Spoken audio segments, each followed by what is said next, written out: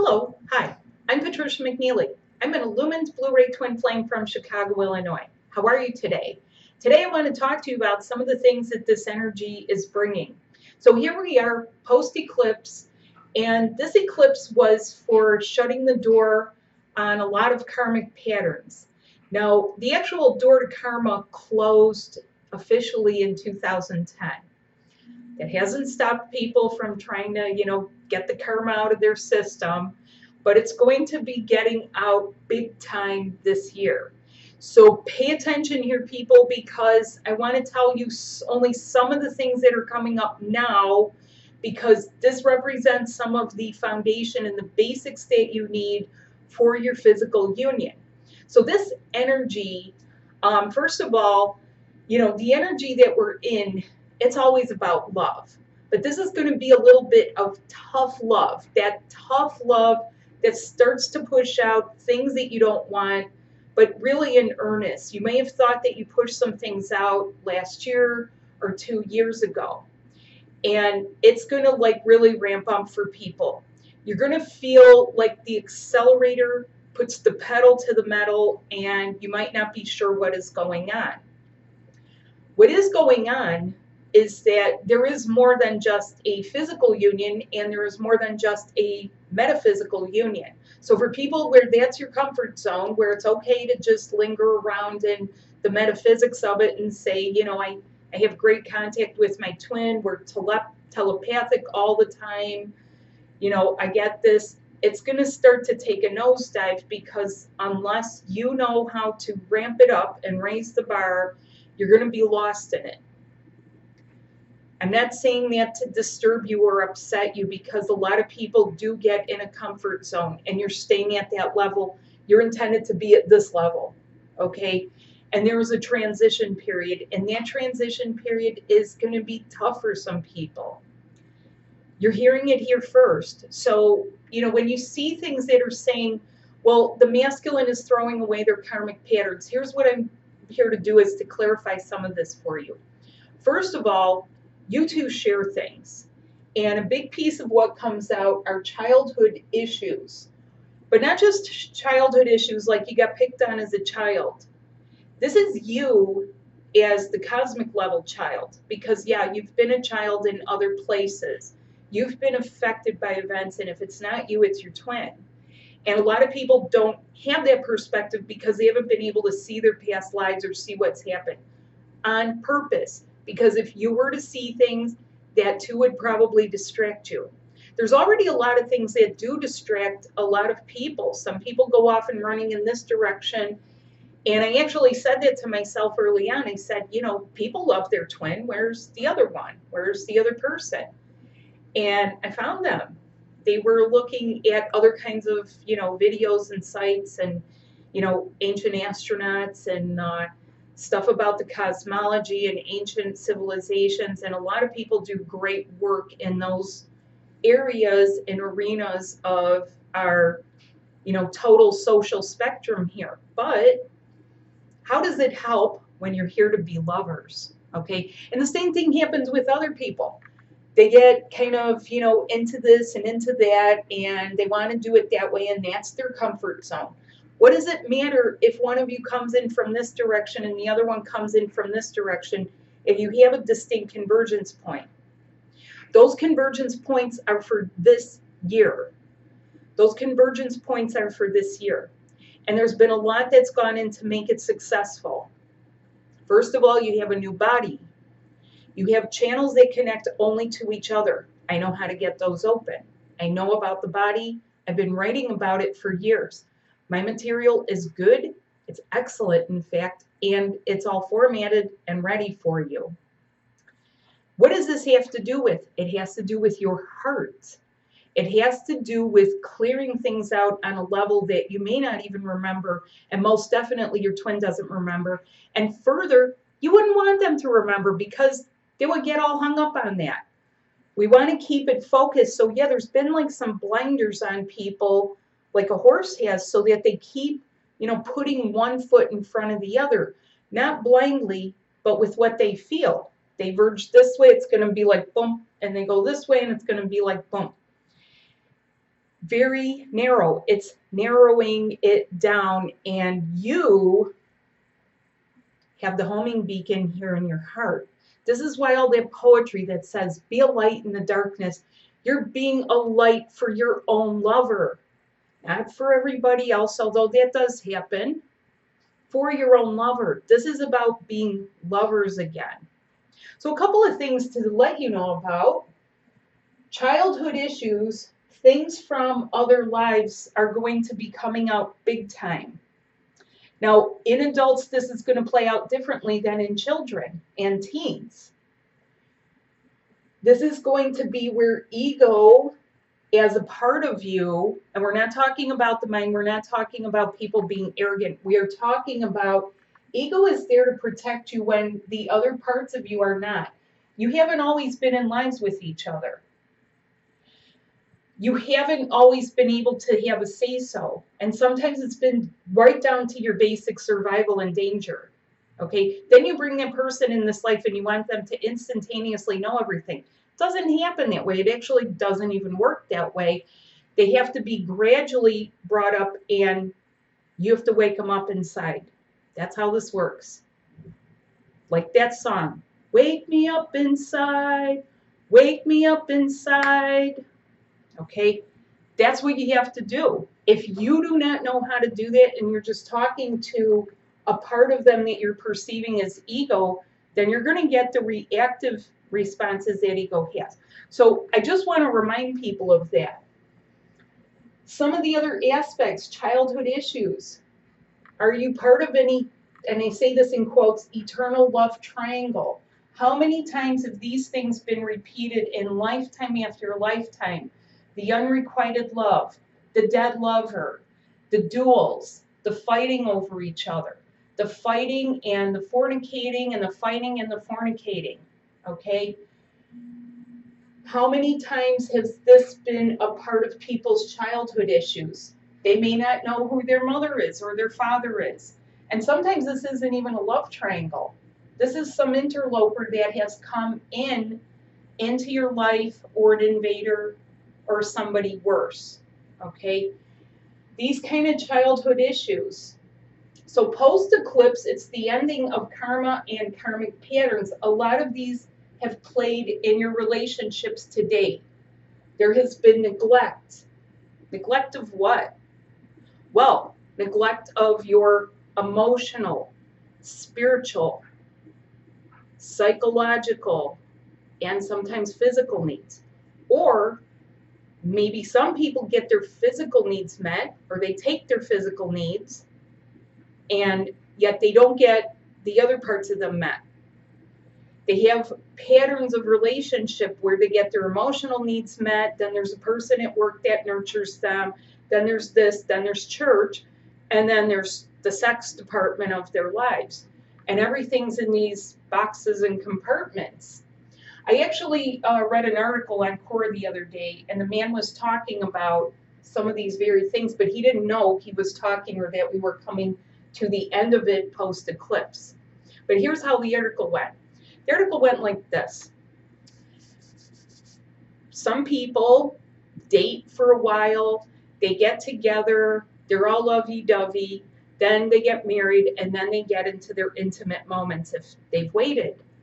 Well, in his case, he got into a situation where the woman he had dated and loved, and she was a sweet person, the minute he went to touch her, her abuse issues all came to the surface and she turned into a stranger.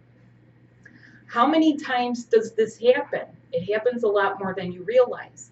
Now, once the wedding ring is on, what do people do? Say, hey, I married someone with all this baggage I didn't even know was there. I, I want a refund. I want to turn them back. Well, for some of you, this is your twin. For some of you, your twin is getting out what they can by being triggered by other soulmates and the entire universe, actually. Remember this the entire universe can trigger things out whenever it's needed. It's not going to be the twin. In fact, it will be less and less frequent that the twin is actually triggering things and it will be more and more of the world and everything because it has to get out. Your, oh, your channels and your high heart will not sustain those things. So what was he supposed to do? Well, he worked with it and he researched it and he found out. And little by little, like coaxing a wild horse, he, you know, they got to a working agreement in their marriage. That's not what you're here for. You're not here for that kind of old school marriage. I'll give you another one. There was a uh, article I saw. Now, mind you, these are relationships. I'm not saying if it is or isn't a twin flame. So these are distinctly relationship patterns. Someone saw the boyfriend from years ago come up on, you know, social media. Brought a flood of feelings because what had he done? He had cheated on her. And yet, as this brought things up and it triggered out stuff from the past, she started to process it. She felt sick to her stomach. She got headaches. She laid awake at night and she was confused because as an older person, once she started processing, she was start she was able to put it in perspective. And the perspective was this. She started to remember the good things. And this is what time does when it heals your wounds. It helps you remember the good, all of your good takeaways. Okay? That is what this post eclipse energy is doing.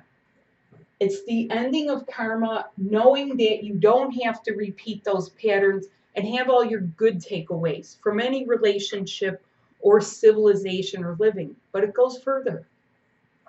When she really started processing this, she started to understand he helped me. How could a person who cheated on you help you? This is where we get into the nuances, okay, and how these levels of healing go. She had been abused as a child. The boyfriend was very gentle and patient. He took his time, and these were her takeaways. She felt safe. She was able to allow herself to be touched and not panic and not seize up and go into her old patterns, her old karmic patterns. Did he take her virginity? Yes, he did.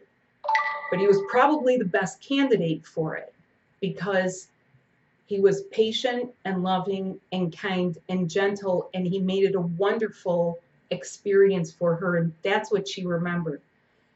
She remembered his gentility and kindness. It wasn't a F for her. It wasn't just something hidden in a back room. It was something where she was able to get in touch with a part of herself that wasn't there for a long time. So when your other parts are not, when you have only ego to protect you, yeah, you can seem like a wild animal, you can seem like an abused person, you can seem like someone that needs coaxing, you might want to turn to drugs or alcohol. Okay?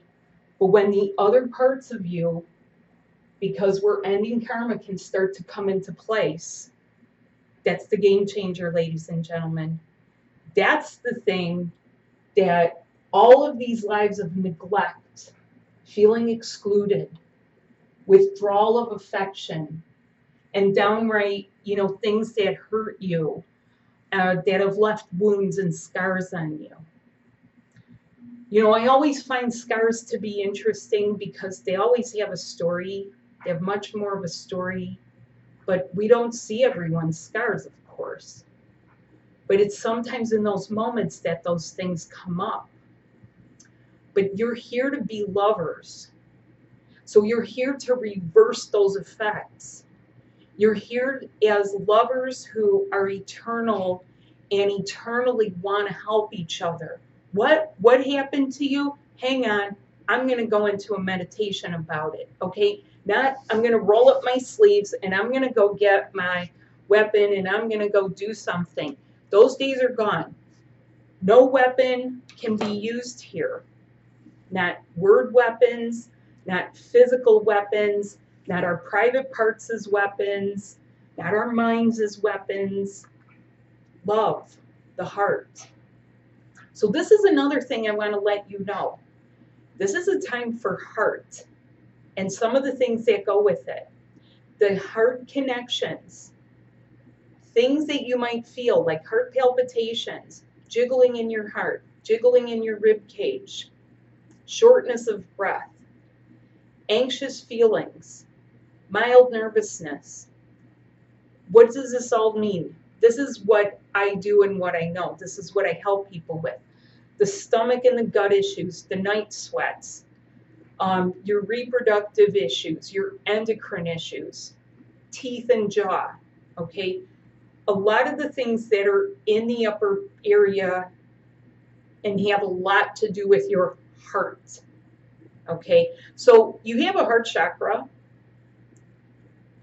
You have a connection to that heart chakra to one person in the entire world.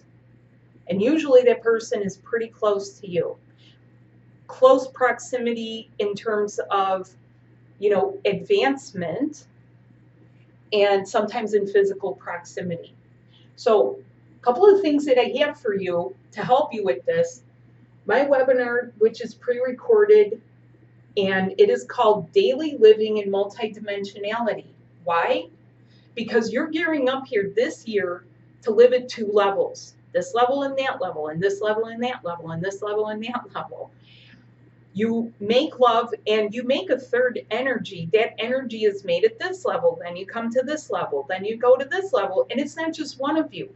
You're both going to be doing this with each other. It's not a one way street. It's not the feminine. So please, I want to mention something here. I've spoken to a lot of men. Men are on board with this. You don't need to make them feel bad. I've had men show up and practically be apologetic and say, I know I'm a man. I know the feminine's carrying their weight, but you know, I'm here and I don't know, maybe, okay, we got to stop all this dualistic stuff of the feminine doing, doing, doing. The masculine has been doing a lot too. And you're going to get to live together and you will be daily living in multidimensionality with each other. And it is the return of your life. This is the title of it Daily Living in Multidimensionality, Return of Your Life and I think I switched it Return of Your Life to be Daily Living in Multidimensionality.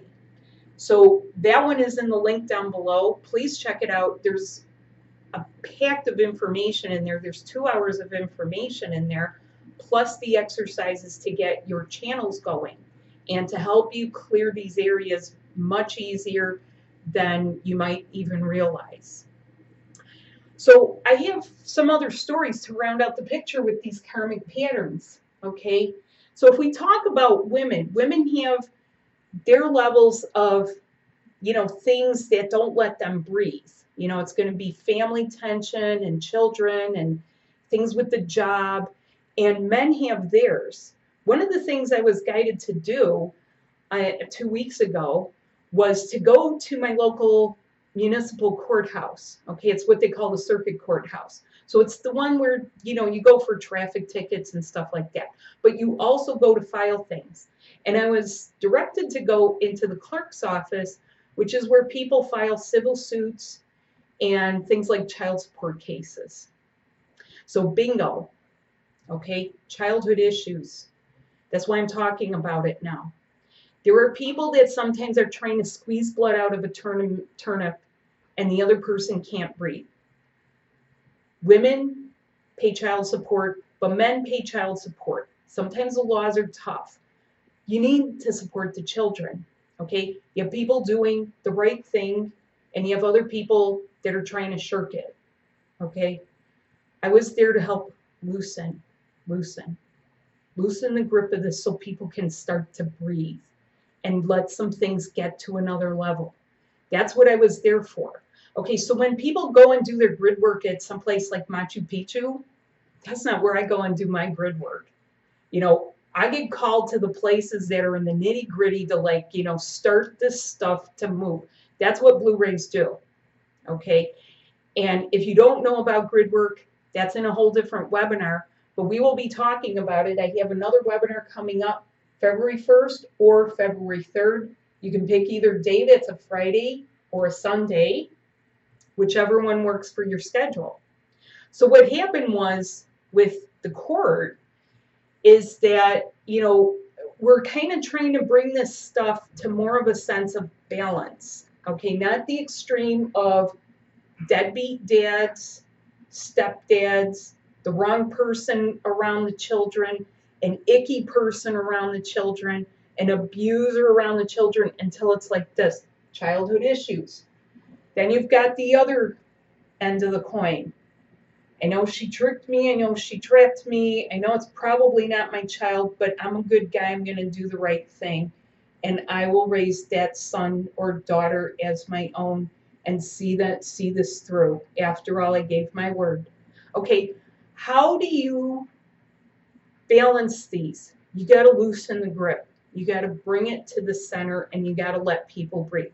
Because resentments build up here and resentments build up here. Okay? If there's a lot of negativity, I was always taught as a child to pray for our leaders. That's what I was taught. We did that at church, okay? Didn't matter if they were making the right or wrong decisions. The message was don't send them negativity. Send them the thing that you wish for to happen. Now, for me, that's gone a step further where I'm a being that's capable of doing some of this grid work. I don't pretend to do it all myself because all we need to do is loosen things a bit so that it can start to come back into balance where people aren't chasing people. You think running and chasing just goes on in the twin flame community? Do you ever have to, you know, chase people for other stuff or let them chase you? What does that feel like? Okay. This is some of the things that have happened in past lives with people, and it does connect to the ending of karma. So when you're there and you're saying, How is this going to work out? Or my twin has kids, and like, what are we going to do? And you're in those financial fears. Fear not. Fear not, kind people. Okay? For whatever was not equal cannot be balanced if it was not equal to begin with. Okay? We are equalizing things. That's what equality actually means. We're making things equal without karma, without smacking people in the face with their karmic two by four upside their head. This is a different energy. There's an expectation that people will rise to the challenge and put their best foot forward. So that's the thing that I want to help teach people. I even posted a little silly video on or picture on my Instagram because as I was doing my walks around my neighborhood during the holidays, I noticed that quite a few of the nativity scenes had baby Jesus still there. And, you know, this has been sort of a thing around my neighborhood to, you know, who's going to steal baby Jesus or like people have to hide their baby Jesuses. and I thought to myself, you know, the moral compass is changing because nobody stole. You know, those people, those same old people weren't stealing. So I thought that was a good thing. Whether or not it's true, I don't know. That was my perception. You know, but I've also seen some other great things. Like right now, I mentioned this in my class you know, we talk a lot in our class, you know, it can be as interactive as you want. But I was talking about some of the great things I was seeing, even though the government is shutting down. I saw an article about grocery stores coming forward with some gift cards for those employees who aren't getting a paycheck, and they still need to eat. That's the thing. Daily living in multidimensionality, you still got to eat. You still have to have a place to live. God doesn't want to want you to starve for the sake of love. This is a whole new level, and there are expectations that go with it, and you should have expectations too. You should have expectations that your basics are fairly easier to meet. Okay? Do you have to put your best foot forward? Yes. Do you have to put some energy into it? Yes. Do you have to invest in yourself? Yes. Invest in the things that are going to help you with this. So I get a lot of uh, great movement and shifting for people with just a couple of causal body sessions. I do recommend two to three, but two to three cuts to the chase and they're they're done sequentially. They're not done all within three days. They're done sequentially to help people um, lift off the causal body. Do you know what the causal body is? Okay, I have some descriptions. It is your manifestor. It is how you cause your new life. You have brand new connections that need to move into place for your real life and real living situation with each other. So I'll give you an idea from the past. We'll talk about childhood. Anyone ever be a child soldier? Anyone ever join the military when they were 18? What did you go through? You went through basic. What does what do they do in basic? They yell at you. They hammer you here. Boom, boom, boom, boom. And then they say, Are you eyeballing me? Are you eyeballing? Are you eyeballing me? Are you are you what are you looking at, soldier? Okay. The same thing happens in marriage. What did you do now? I can't do that. I can't do anything right. Well, I just I just can't do anything right. You know, but what's going on? And they want to lock horns with you. That's your causal body. That's the old causal body. How do you get rid of that? I know how to help you get rid of it. And I teach you what to do. And I teach you and teach you if you need coaching, if you need help with things, if you need how to break out of relationship patterns. Okay? That's what I know. If you want to help yourselves out of some of these, uh, you know, it's not just childhood issues because this pertains also to patterns of how we've related. That's those are patterns of relationship. How do you shift out of ego and start getting your manifestor going so that you're creating your daily living? So check out my webinar. Check out the online webinar. This is a live one, and you will receive the recording. It's going to be in two parts too. So the next parts are the following weekend. This is next weekend, February 1st, February 3rd, and moving that. So you're here to be lovers. You're not here to be shunted aside or excluded. You are here for the full uni unification of the parts of you that are emotional, the parts of you that are spiritual, the parts of you that are real, the physical. Okay? You are a multidimensional being. You have all these parts. This is not a part time thing. This is how you are all the time. These are the beings you are. And you're here to be lovers. Okay, not part time lovers, lovers all the time. It's got to be part time, but it's not intended to stay that way. This year is a year of unification. And yeah, for some of you, you're hearing physical union. Get your get your subtle bodies going so that you can hold the physical union together that you're supposed to. Because even people that are together find that they go through body stuff. I know the body stuff. I know it. I'm doing it. I've been doing it for years. And then you know what happens with me? I get shoved back where I have to go through the cycle again so I can teach another round of it to the next wave of people. That's what happens. So you know, you don't want to end up feeling like a victim or like someone tricked you or that your perceptions were wrong and, you know, what's going on anyway. I mean, I do hear this from people where at some point they say, wait a minute, I'm getting all confused with this twin flame stuff. Okay? Don't get confused, get focused. Get focused within, find out how to do it because that's what I teach. And I give you the tools so that you can always do it. Always, always, always. Not, you know, run and see, like, well, which one is it? Or what's happening today? Or what's the cosmic weather? What's going to happen? Okay, who's predicting what? You have to make your own predictions.